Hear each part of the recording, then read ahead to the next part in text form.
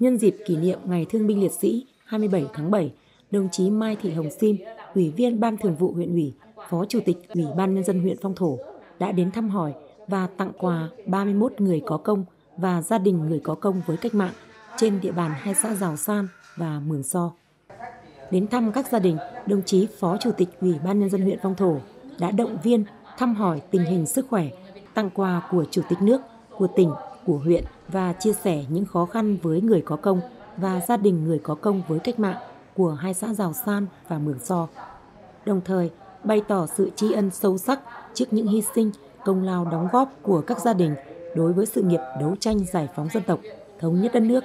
động viên các gia đình tiếp tục phát huy truyền thống cách mạng,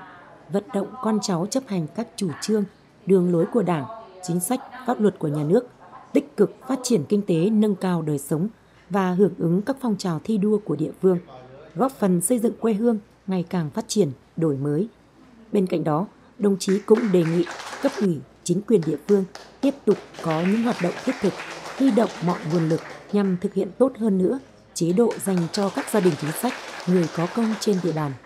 Trước đó, đồng chí Mai Thị Hồng Sim, Ủy viên Ban Thường vụ huyện ủy, Phó Chủ tịch Ủy ban Nhân dân huyện Phong Thổ cùng đoàn công tác